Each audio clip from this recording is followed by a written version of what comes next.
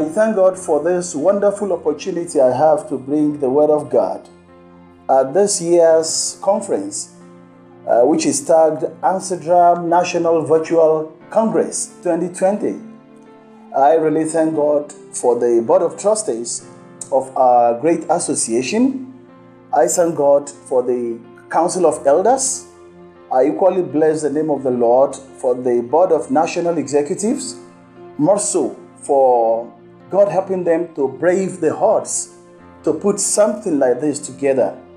Of course, this is the first time we are having a Congress online, so I believe this Board of National Executives deserves a round of applause for putting up something like this and for the extent to which God has helped them. And we give God the praise for this. We equally thank God for the National Executive Council and, of course, for every member of ANCEDRAM. And I equally thank God for non members who are in the house to be part of us since this program is only online this year. The Lord bless you all. Shall we pray? Almighty Father, we thank you for this opportunity we have to study at your feet again. I thank you for the privilege I have to bring your word to this house. Lord, I pray you give me utterance to declare your mind alone. Daddy, you are the one we want to see, you are the one we want to hear. Please reveal yourself to us. The mysteries will need to be unraveled to help us in our walk with you and in our work for you. Please let us receive in the name of Jesus. Thank you, Almighty Father. In Jesus' mighty name I prayed. Amen. God bless you one more time. You are welcome. I'm speaking on the theme for this year's Congress. And the theme is pressing towards the mark. Pressing towards the mark. Of course, this is taken from the book of Philippians, chapter 3, verse 13 to verse 14. Permit me to read from here. The Bible says therein, Brethren, I count not myself to have apprehended, but this one thing I do, forgetting those things which are behind and reaching forth unto those things which are before. I press toward the mark for the prize of the high calling of God in Christ Jesus. Paul the Apostle is the one speaking here. He said, He did not count himself to have apprehended, but one thing he did. He chose to forget the things that were behind him and to reach forth unto the things which were before. And in verse 14, he said that he pressed toward the mark for the prize of the high calling of God in Christ Jesus. We'll be looking at some key facts from these two Bible verses. And these are the key facts I want us to see as we begin. You must identify one thing you need to do. And then you must learn to forget the past and reach out to what lies ahead. You must equally press toward the mark for the prize of the high calling of Christ. Another key fact is this.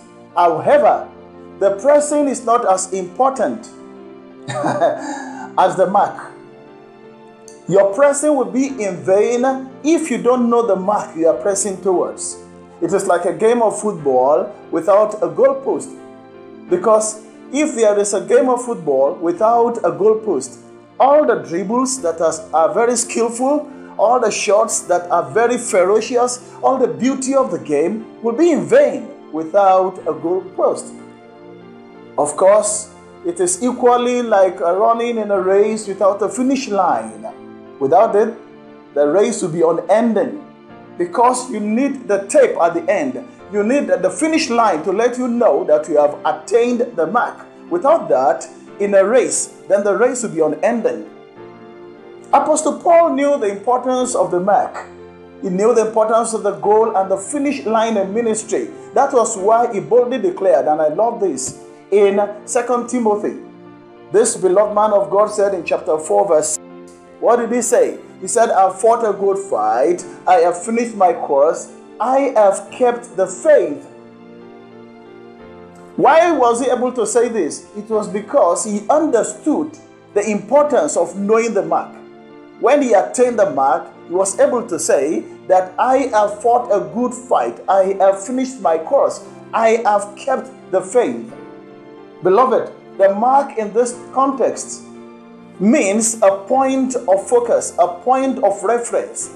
And what is a focus? A focus means a central point of attraction, a central point of concentration, a central point of attention, a central point of activity. That's a noun of what a focus is. And when we look at it as a verb, it means giving all attention, giving all time, giving all energy to a particular activity. That is what a mark is.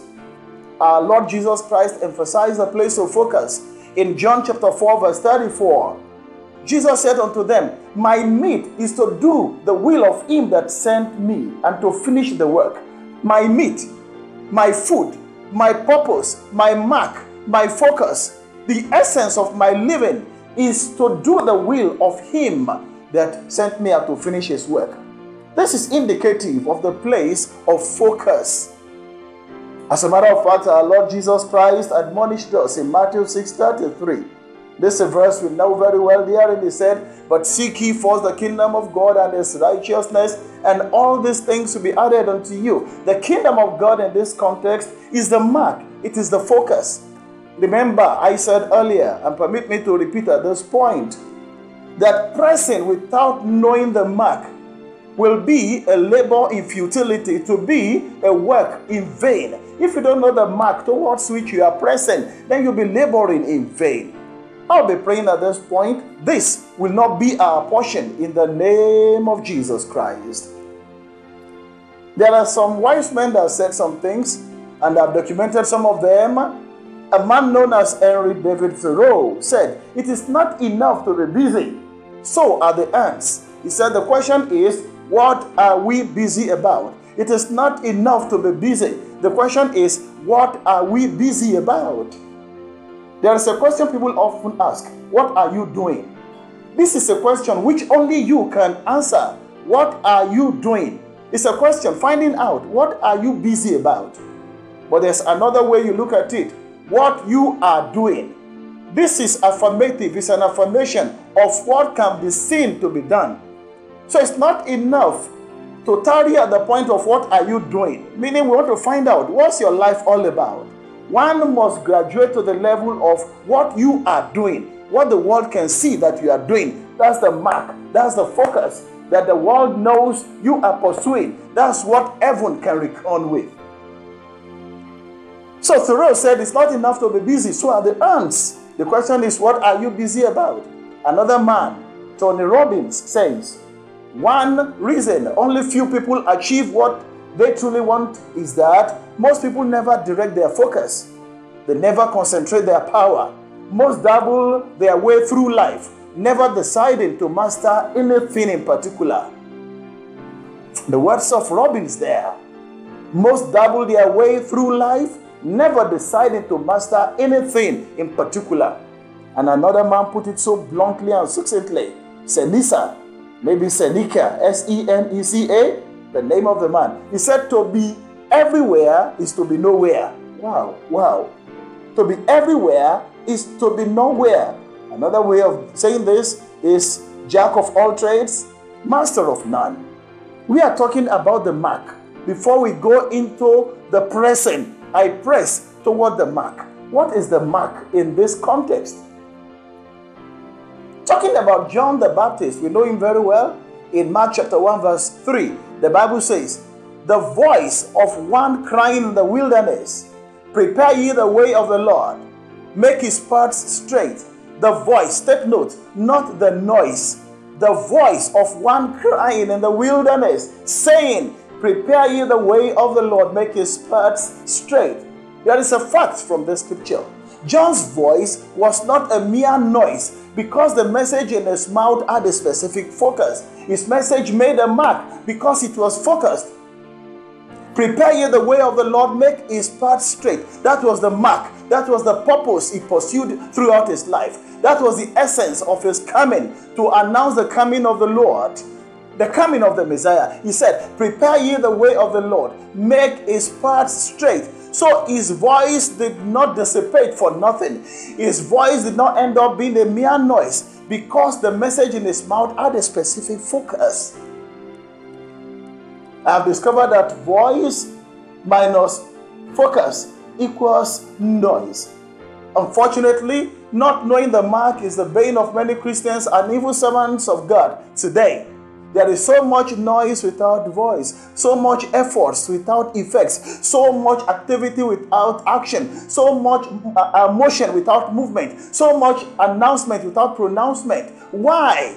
Because there is so much distraction, not knowing the mark. When you don't know the mark, your noise, I mean, your voice will end up being just a mere noise. And all the motion will be without movement. All the announcement you make will not be backed up to become a pronouncement from heaven. I pray this will not be our portion in the name of Jesus. We must know the mark which we want to press towards so that we can obtain the prize of the high calling. The early apostles almost fell into this error. You can check this in Acts 6 1 to 7. In verse 1, we are made to know that there were some complaints from the Grecians among the Hebrews the Grecians were equally known as the Hellenists. Who do we call the Hellenists? These were the Jews that were not born in Palestine as at that time. They were born outside Palestine. As a matter of fact, the language they understood was the Greek language. So they were not the original Jews. So they did not speak Hebrew as a first language. Greek was their first language, even though they were Jews by nature, by birth. So these were the Hellenists. So these were part of the early church. So we knew them as Grecians. We knew the other ones as the Hebrews. So they had a problem as for the welfare of the widows in the early church. And there was a grumbling. The grumbling got to the hearing of the apostles, the 12, the elders of the churches at that time. So they were complaining there was partiality, that things were not well distributed. It's amazing that dissension had come into the church so early in the life of the church. A crisis was rearing its ugly head so early in the life of the church. So I'm not surprised when we see some things happening in the church today. We had them in the early church, but the apostles were wise enough to know what to do. They gave a response in verse 2. They said, Your complaint is true, your murmuring is correct, your grumbling is not unfounded. However, verse 2 it is not reason that we should leave the word of God and serve tables. Meaning they knew the focus of what God had sent them to do. It was the word of God to learn it, I mean, to teach it and to help other people to understand it. So they said it is no reason. What you have said is not business. But still, it is no reason for us to leave uh, the word of God and serve tables. And they took a step in verse 3. They said, Brethren, look ye among you seven men of honest report. One, full of the Holy Ghost. Two, and full of wisdom, whom we may appoint over this business. We cannot go into verse 3. It's a message for another day. Men full of the Holy Ghost, of honest report, and full of wisdom. That was the instruction they gave to the body of Christ, the disciples that were complaining. And they had a resolution. They voiced it out in verse 4. We will give ourselves continually to prayer and to the ministry of the word. Beloved, pressing is not enough. You must know the mark towards which you must press. They said, We'll give ourselves continually to prayer and the ministry of the word. And something was done in verse 5. The thing pleased the whole multitude. And they chose Stephen, they chose Philip, they chose Prochorus, Nicanor, Timon, and Parmenas, and Nicholas. Hallelujah. That was a choice they made. And here we have the result. What happened? The word of God increased, and the number of the disciples multiplied in Jerusalem greatly and a great company of the priests were obedient to the faith. Hallelujah. Beloved, they got this result because they refused to serve tables but focused on the mark. Serving tables in our own context means inordinate cares for money, inordinate cares for popularity. We're talking about competition, rivalry. When these things have a place in your, in your life, then you can be sure you are likely to miss the mark. So if you truly want to pursue the mark, you really want to press towards the mark, then you must make up your mind that I'm not in the ministry to serve tables. No, no. I am to be dedicated continually to the ministry of the word. That's the purpose for which God has called me into the ministry. And I want to tell us some benefits of focus at this point. Number one benefit of focus energy is saved. Two, stress is reduced. Output is increased identity is established, promotion is fast tracked, when you are focused, proficiency is developed, resources are well invested, obstacles become insignificant. When you are focused and you know the mark you are pursuing, distractors and even detractors are silenced. Hallelujah. So the question at this point you'll be asking Brother Mike is this What is the mark we are talking about? And this is the mark. Hebrews chapter 12, verse 2 makes it very clear. There the Bible says, Looking unto Jesus, the author and finisher of our faith, who, for the joy that was set before him, endured the cross, despising the shame, and is set down at the right hand of the throne of God. Jesus Christ is the mark to, towards which we are to press. Any other pursuit is a no no. This is the ultimate pursuit of every child of God. This is the ultimate pursuit of every servant of God. Jesus Christ, looking unto Jesus, that I may know him, as Apostle Paul cried out. The him here, you know, of course, is the Lord Jesus Christ. That I may know him and the power of his resurrection and the fellowship of his suffering, be made conformable unto his. That I may know him, the Lord Jesus. He is the mark we are talking about here. So, how do you make Jesus your mark? How do you pursue him? How do you press towards him? You do this by seeking to know him the more, seeking to honor him the more, seeking to praise him, to please him, to serve him, to preach him and make him the center, the center of your message, making him the fulcrum of your message, making him the, the focus towards which you are pressing. Jesus is the mark we are talking about here. Not money, not popularity. Beloved, not fame. Jesus is the one we are pursuing. He is the mark. But blessed be God the Bible says, Seek ye first the kingdom of God and his righteousness, and all these other things will be added unto you. This to tell you that seeking Jesus as the center of our focus does not mean we'll be precluded or excluded from all of these other things. Hallelujah. We equally have them because we need them, but they should not form the basis of your life as a minister of God. I often tell people if you are in the ministry to make ends meet, you soon meet with your hand. If you are in ministry, eh, because you have nothing to do, then you may remain without anything to do. You are not in ministry because you are redundant. You are in ministry because you have a call. If you are in ministry because of honoraria, you'll end up meeting with dishonor. That's just the truth of the matter. So, beloved, Jesus is the one we are running after, is the one we are pursuing, is the mark. So, we are laying a foundation here. I press towards the mark for the prize of the high calling I press towards the mark. So we are looking at the mark here now. At this point now, we are going to combine two things together the pressing and the mark, and then obtaining that prize of the high calling. We'll be using a man of God. I know we know very well as a case study here. But permit me to tell you something that has always been my prayer, and I believe we all need it. And this is a prayer I often pray silently. And this is the first time I'll be making this prayer public. My Lord Jesus, in my sphere of influence, please let people know you far more than they know me. This is another way of re-echoing uh, John the Baptist's uh, Baptist prayer. He said, He must increase while I decrease. Father, Lord Jesus, in my sphere of influence, wherever I am physically, wherever I am present online, wherever I am, Father, I pray, let people know you far more than they know me. And let's look at something from the life of Elijah and Elisha. We know that Elisha was one of the sons of the prophets. We can't go uh, into how Elijah brought him into ministry by throwing his mantle on him. We don't want to go into that because of time. But there's an account in 2 Kings chapter 2 from verse 1 to verse 5 or verse 15. We know this very well. It was getting to the time for our friend, that wonderful prophet Elijah, to leave planet Earth. It was time for him to go. It was getting to the end of his ministry. This wonderful prophet had Elisha so close to him. And the truth of the matter is, as he knew he was going, I believe Elisha equally got an inkling that his master was leaving. Because their journey began from Gilgal the two of them were there at Gilgal And Gilgal is known as a rolling place. This was where God rolled away the reproach of Egypt from the neck of the children of Israel. So God delivered, delivered them from Egyptian slavery.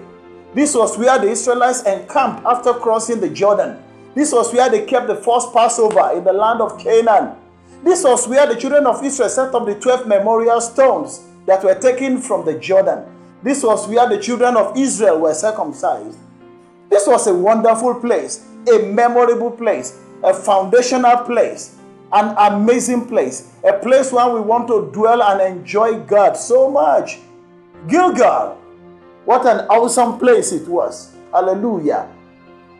But Elijah said to Elisha, What did he say? He told him, Tarry ye here while I go over to Bethel. But Elisha refused. He said, My master, as you live and as your soul lives, we are going together. He refused to tarry there in uh, Gilgal, as good as Gilgal was. So he chose to press on after his master. And he crossed over to Bethel. And at Bethel, there was a school of prophets there. And I believe this was what essentially Elijah went about doing. He went about to visit all the schools of the prophets where he had ministered, where he had been of influence to them, to announce to them that something was about to happen, or whatever it was. These other sons of the prophets did not get uh, the full uh, import of what was about to happen, or they got it, but they were not really interested. Because the sons of the prophets in Bethel said to Elisha, They said, Knowest thou, do you know that your master will be taken from your head very, very soon? Meaning they knew what was about to happen, but they had no interest in it. This is the hallmark of people who do not press, those who are not willing to press. They know things are happening, but it's like they are just not interested in it. Elisha said to them, Yes, I know. Hold ye your peace. In other words, I know. You wait and see. The result will justify the means very, very soon. You can tarry here and remain here and become commentators of ministers of God. Become a major critic and an armchair critic of other people's ministry. Remain here. and continue to analyze while I go there to synthesize my life and ministry. Remain here and be watching. Hold your peace. Something will happen very, very soon. I guess he told them. He refused to tarry at Bethel. And Bethel, as you know by implication, is known as the altar of God, the place of the altar, the house of God. Elisha did not terminate his journey at Bethel because he wanted something more than the house of God. You know what he wanted? He wanted the God of the house. Hallelujah. If you truly want to press on, you will never be satisfied with just the house of God. Your desire, your pursuit, your hunger, your thirst will be the God of the house, that I may know him. God, you are the one I want to know. Oh, not my GO, you are the one I want to know. Oh, not my pastor, you are the one I want to know because you are the author and the finisher of my faith. You are the one I want to know. So he preferred the God of the house, oh, to the house of God. You know the story of the sick man by the pool of Bethesda in John chapter 5, verse 2 to verse 9. This man was wasting away. What was he waiting for? He was waiting for the moving of the water. You know, he complained to Jesus when he asked him, Do you want to be made whole? He said, Yes, Master, but I have no man. What an insult. You know why? How can someone like Jesus stand before you and you could still utter those words, I have no man? The whole Son of God Himself standing before you. You should know that the man that sums up all men is standing there. Oh, the man that is beyond all men is standing there. That's ultimately what you need. But he said, I have no man. You know what? He was waiting for the moving of the water. Whereas what he actually needed was Jesus, the mover of the water. This was what Elisha understood. I will not tarry at Bethel. I will press on towards the mark. We are going to Jericho together. I will not stay at Bethel. We thank God Jesus showed up for that sick man by the pool of Bethesda. Otherwise, going by the law of probability, the man would have died waiting because he, he was, he, he was sick. This man could not move. Uh, he was crippled. He was impotent. He was there. He could not do anything by himself. He needed men to carry him. This is a lesson for some of us. You are yet waiting for a benefactor to come and lift you up. Your prayer is, Lord, send me helpers of ministry. Wonderful prayer, good prayer. But I want to urge you, make this the topmost of your prayers. Lord, you are the author and the finisher of my faith. You are the one I need ultimately. A man you don't send to me cannot help me. And I often advise people when you sit somewhere, you are moaning and groaning, you are annoyed. Oh, that I have this brother in America, I have this sister in US, I mean in, in UK, I have this person in Australia. Oh, we are so close. At a point in time, I helped him. Now he has forgotten me. Beloved, quit anger, quit bitterness, cry unto God. Any man that you think can help you but refuses to help you, then the fact of the matter is God has not sent him to help you. Your true benefactors will not disappoint. There are men who make promises and they terminate at the point of promises because they are men, but God can never fail you. Hey, just like Jesus eventually helped, by, helped that man by the pool of Bethesda. The man went home healed because the mover of the water had come. Oh, despising the moving of the water. Hallelujah. I pray for you and for myself this day that the mover of the water will move waters on our behalf. Our lives will not remain the same. Our ministries will not remain the same. Our ministries will not lack divine and human help in the name of Jesus Christ. The journey continued to Jericho, and Jericho is known as a place of fragrance, the place of sweet odor. And this is where we have another school of the prophets where I believe in Elijah equally went to inform them of what was about, about to happen. But 50 sons of the prophets equally said to our beloved friend there, What did they say to him? They said to him that your master is about to be taken from your head. But the man said to them, as usual, Don't worry. I know. You hold your peace. They tried to dissuade him, but the man did not allow himself to be dissuaded. He told them to hold their peace. Remember, Jericho is a place of charisma, fragrance, sweet odor. That's the razzmatazz of life and ministry. Hey, your ministry cannot live on the level of charisma. Charisma may get you up there. It is only character that keeps you there. This is why a lot of men of influence hey, that are charismatic in nature have not been able to sustain oh, what God is doing through them because they lack character. It is character that keeps you there. Elisha did not terminate his journey at Jericho. Even as his master told him he was going to Jordan, he said, As your soul lives, eh, as you live, my father, we are going together. He chose to press on, he pressed towards the mark. And Jordan, uh, this is the source, this is the watering place.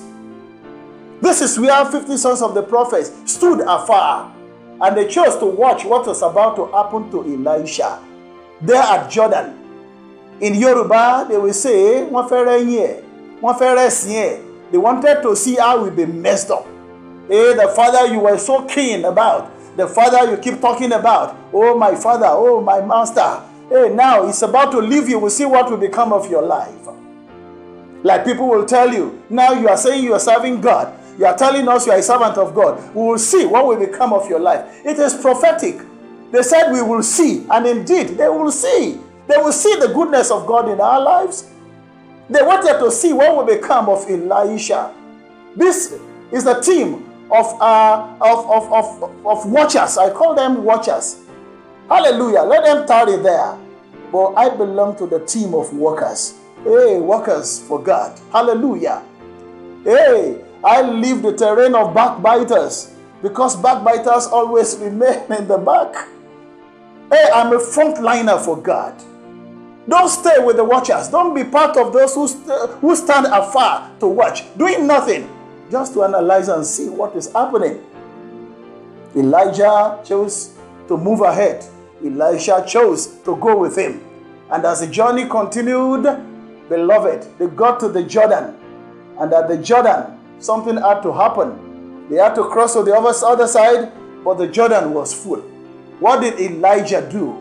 According to the word of God, the Bible says he took his mantle, he wrapped it, and struck the river Jordan. The river parted either way. And the man of God crossed on dry ground. I thank God for Elisha. Elisha was a courageous man. This man had not crossed the Jordan in his life. That was the first time. But seeing his master crossed the Jordan was enough for him. He ran after him. The Bible says, and the two of them went over, they went across on dry ground.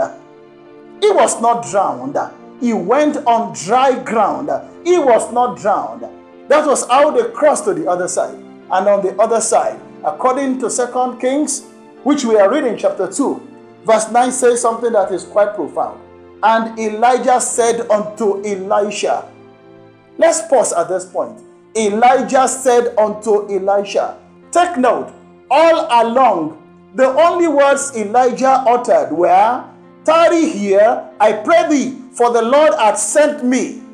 From Gilgal, the Lord has sent me to Bethel. From Bethel, the Lord has sent me to Jericho. From Jericho, the Lord has sent me to Jordan. Tarry here. Those were the words he, he spoke. No other words were uttered. And Elisha's constant response to this utterance for his master were, As the Lord lives, and as your soul lives, I will not leave thee. This is the hallmark of good pressers. I will not leave thee. Hey, Father, things may not be okay. Things may not be auguring well for me in ministry. Things may not be going according to plans. Things may not be going the way I thought they will. Things may not be rosy. Father, I will not leave you. Hey, men may be mocking me, telling me I'm wasting my time. I know you have called me. Oh, my decision is this I will not leave you. This is how to press on towards the mark. I will not leave you. Elisha continued.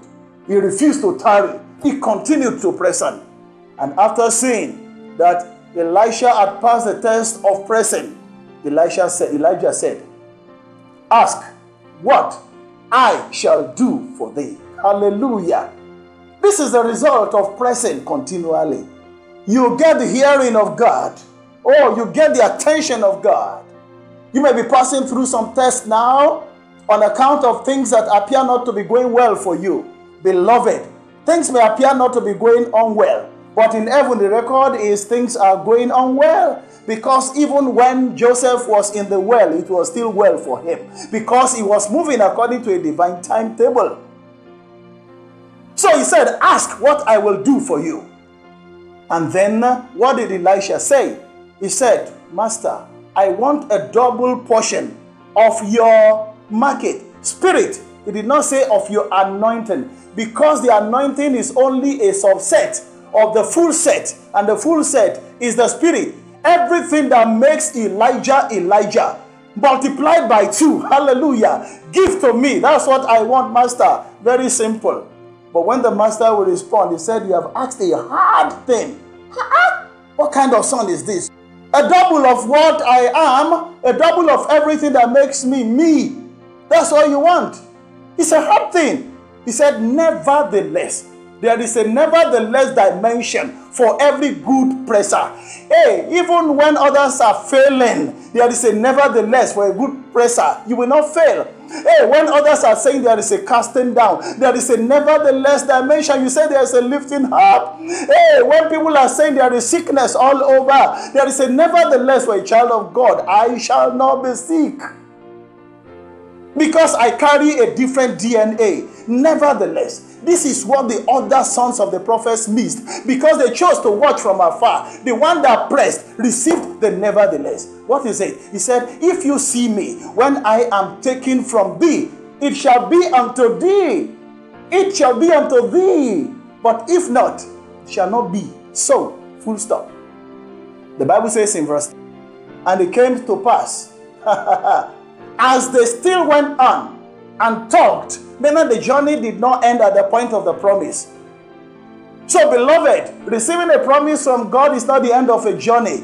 You still have to go ahead. As they still went on and talked, and I wonder what Elijah was talking to Elisha. I guess in the course of the journey, he was telling him, Look at that place. That was where we held the first crusade so many years ago. Oh, look there. An amazing encounter happened there when we came here for some ministry work some years back.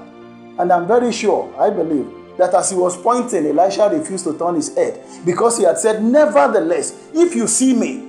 So these other things you are pointing to are not the things I need to see. You are the one I need to see. The Yoruba man will say, ìwọ ni mo nílò you are the one I need to fix my eyes on Fix your eyes on God. Don't look at that man of God who just bought a new SUV, 2020 model. You don't need that. Don't look at the man of God who is building his third or fourth or fifth house. Hey, fix your eyes on God. Don't look at that man of God who is getting popular all around the world. You don't need that. Fix your eyes on God. This man fixed his eyes on him because he said, Nevertheless, if you see me when I am taken from thee, and the Bible says, there appeared a chariot of fire and horses of fire, and parted them both asunder. And Elijah went up by a whirlwind into heaven. It was sudden, it was in an instant.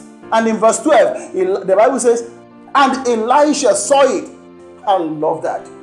Elisha saw it. You will see the goodness of God. Hey, as we move on, in ministry. I pray for every one of us, ANCEDRAM members, non ANCEDRAM members who are part of this year's virtual congress. We will see the goodness of God in the land of the living. And Elisha saw it and he cried, My father, my father, the chariot of Israel and the horsemen thereof. You know why he said, My father, my father? In case Elijah did not hear it the first time, he said it twice. My father, my father. Even that my father is raised to power too. And he went on to describe everything he saw to let his master know that he saw everything the chariot of Israel and the horsemen thereof. And the Bible says he saw him no more. You know why? He no longer needed him. He no longer needed him. What he needed had come. The Bible says he took hold of his own clothes and rent them in two pieces. We can't go into the details of this, but to truly press towards the mark, you must tear off and put off some clothes the cloth of envy, the cloth of rivalry, the cloth of bitterness, the cloth of, uh, of unforgiveness, of anger, of inordinate ambition. You have to tear them off because what you need has come. Verse 14 says, And he took the mantle of Elijah that fell from him. Take note, he did not pull the mantle, the mantle fell. Why? Because he had worked for it, he pressed for it the mantle on his own accord fell from for it, and they picked it. And as I begin to round off, Elisha turned around to return into work, into the work God had ordained him for, to go back into the world to manifest for God, holding the mantle, what he wanted. But by this time, River Jordan had filled up again to the banks. This was a problem that came the way of Elisha in the early hours of his ministry. A full river Jordan, he had a problem to solve.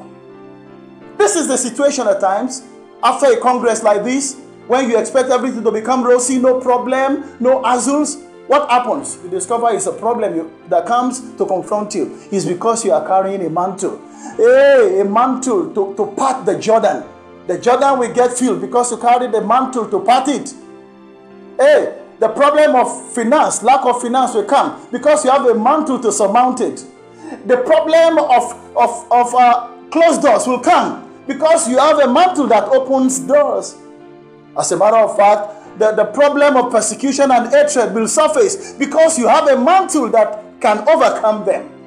The Jordan filled up again. A problem came because he had the mantle.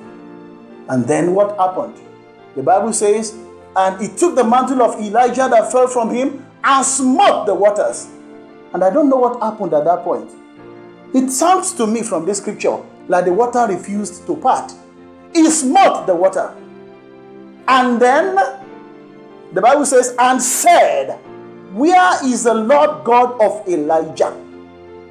Thinking it was a mantle that will do it alone. Maybe for a moment he forgot that there is a power behind the mantle, of the Lord God. So God allowed him to have the good lesson from the beginning. It sounded like the water did not part immediately. And they took the mantle of light that fell from him and smote the water. Mm-hmm, comma, and said, Where is the Lord God of Elijah? And when he also had smitten the waters, having asked, Where is the Lord God of my father? The Bible says they parted either and thither, and Elisha went over. Hallelujah. So, beloved, as you press on, don't forget the Lord God our Father. Hey, don't depend on past experience. You have been doing this for years. we know how to do it. God knows how to humble a man in a, in a moment. he knows how to bring you down from your high horse. When you think you can preach without even reading, without studying the Word of God again, all I need to do is to open my mouth and they will feel it. Beloved, the mouth God fills is the mouth that had eaten the scripture before. You will not feel an empty mouth. So, where is the Lord God of my father and the water parted? The lesson here is this Elijah's final miracle of parting the Jordan was the start of miracles for Elisha. The peak, the final, possibly the most memorable, was only the beginning for Elisha because he decided to press. He pressed on. And finally, in verse 15, and when the sons of the prophets who were to view at Jericho, the watchers, when they saw him, the Bible says, they said, The spirit of Elijah doth rest on Elisha. They put a stamp on it. They agreed. Every of our mockers saying we don't know what he's doing, though, they will know. Because this one said, they said the spirit of Elijah doth rest on Elisha. The world we know that we are serving a living God. We are not wasting our time in ministry. Hallelujah. As we expand on every horizon, physically, virtually, online, offline. Hey, as drama ministers, as ministers of the gospel, the world we know that we are serving a true God, a living God. So shall it be in the name of Jesus. And finally, and they came to meet him and bowed themselves to the ground before him. They bowed, they surrendered that indeed you have got it. We will get it. As we press on, we will not miss it.